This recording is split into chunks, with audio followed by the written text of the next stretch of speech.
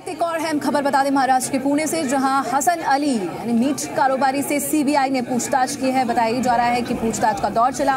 हसन अली से सीबीआई की पूछताछ से जुड़ी बड़ी खबर बता दें। वित्तीय गड़बड़ियों को लेकर सीबीआई ने हसन अली से पूछताछ की है। ये ये ये वाला